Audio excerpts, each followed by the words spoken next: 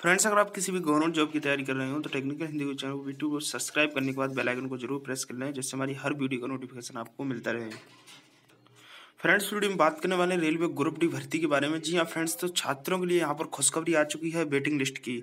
यहाँ पर उनके लिए ऑफिशियली इन्फॉर्मेशन हम दिखाने वाले हैं। बिल्कुल प्रूफ के साथ कि वेटिंग लिस्ट में जो है, कितने नंबर तक के छात्रों को जो है वेटिंग लिस्ट में रखा जाएगा। और यहाँ पर बिल्कुल लेटेस्ट आज की ब्रेकिंग न्यूज़ है। तो पूरी वीडियो में बने रहेगा बिना स्किप की पूरी वीडियो को देखते रहेगा मैं आपको वेटिंग लिस्ट का यहाँ पर दिखाने वाला हूँ। आज की ब्रेकिंग न्यूज़ है बिल्कुल। और यहाँ पर ऑफिशियली आपके सामने अपडेट लेकर आया हूँ। फ्रेंड्स मैं आपको बताना चाहूँगा, railway S S C triple S C जो भी अपडेट्स होते हैं, सभी आपको वीडियो के माध्यम से बताए जाते हैं। मैं R S M S S B Rajasthan की जो भी भर्ती होती है, उत्तर प्रदेश की जो भी भर्ती होती है triple S C S S C सभी की अपडेट्स वीडियो के माध्यम से बताता रहता हूँ। तो फ्रेंड्स हम बताने वाले हैं उस प्रूफ को लेकर चलते हैं आपको और जहाँ पर दिखाने वाले हैं उस वेटिंग लिस्ट के बारे में। तो फ्रेंड्स जैसा कि आप देख पा रहे हैं बिल्कुल लेटेस्ट न्यूज़ है यहाँ पर निकल कर आई है एक न्यूज़ पेपर में। मेरिट के साथ ही बनेगी वेटिंग लिस्ट यहाँ पर आप देख सकते हैं मेरिट के साथ ही वेटिंग लिस्ट बनने वाली है। ग्रुप डी की भर्ती में इस बार किया बड़ा बदलाव। रेलवे ने अभ्यर्थियों को दोन, दोनों में होगा लाभ।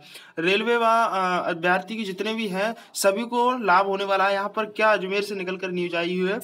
क्या इस न्यूज़ में बताया गया है? पेपर में वो आपको पढ़कर बता देता हूँ। रेलवे ने ग्रुप डी भर्ती परीक्षा के नियमों में बदलाव कर दिया है। इससे परीक्षा देने वाले अभ्यर्थियों को फ़ायदा मिलेगा। ये नियम इस बार होने जा रही है। ठीक है, यहाँ पर जो बताया जा रहा है कि इस जो नियम है वेटिंग लिस्ट वाला, वो पहली बार होने जा रहा है रेलवे में।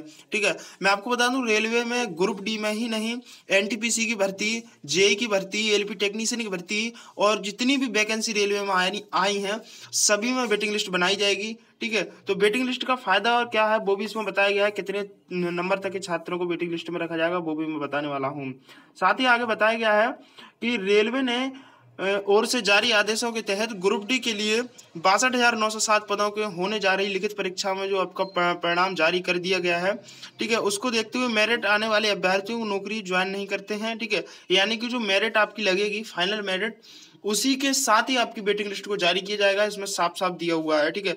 यानी कि जब आपका फाइनल लिस्ट आएगी, उसी के साथ आपकी जो फाइनल मेरिट लिस्ट बनेगी, उसी के साथ ही आपकी वेटिंग लिस्ट को जारी किया जाएगा, यहाँ पर साफ़ साफ़ बता दिया गया है, ठीक है? यदि मेरिट में आने वाले अभ्यर्थी नौकरी को ज्वाइन नहीं करते हैं, यानी कि जब अभ्यर्थी मेरिट में आ जाते हैं तो वो किसी भी कारणवश या उनकी किसी अच्छी जगह जॉब लग जाती है, या वो कहीं दूर चले जाते हैं, या उनकी फैमिली कहीं आपको ज्वाइनिंग जो है दूर मिलती है, ठीक है रेलवे की तो उनकी फैमिली या वो जाना नहीं चाहते दूर, या उनकी फैमिली भेजना नहीं चाहती दूर जॉब के लिए तो ऐसे में, या कोई भी टेक्निकल यानी उनकी फैमिली प्रॉब्लम हो सकती है, वो जाना नहीं सकते तो ऐसे में बहुत से अभ्यर्थी होते हैं जो ज्वाइन नहीं कर पाते हैं तो देखिए यहाँ पर बताया गया है कि तो प्रतीक्षा सूची यानी वेटिंग लिस्ट वालों को शामिल अभ्यर्थियों को मौका दिया जाएगा। इससे अभ्यर्थियों को फ़ायदा मिलेगा, साथ ही रेलवे का खर्च और परेशानी भी कम होगी।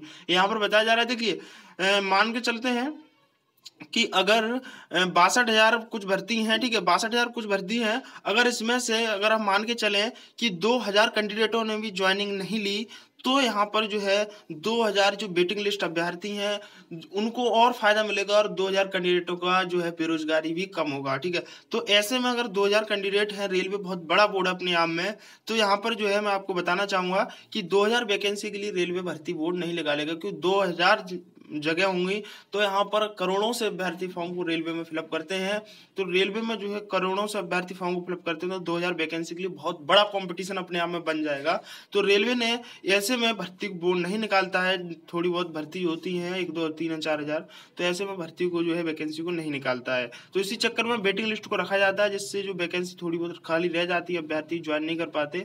उनमें से जो वेटिंग लिस्ट अभ्यर्थी हैं, उनको जो उठा लिया जाता है और वेटिंग लिस्ट के अभ्यर्थियों को रख दिया जाता है। साथ ही आगे बताया गया है कई अभ्यर्थी ज्वाइन नहीं करते हैं। दरअसल रेलवे में नौकरी आवेदन करने वाले हैं। इसमें जो है बताया गया है कि रेलवे मंत्रालय ने कि जो वेटिंग लिस्ट है, इस चक्कर में देखते हुए सभी को रेल मंत्रालय ने ग्रुप डी भर्ती के नियमों में बड़ा बदलाव किया, कर दिया गया है।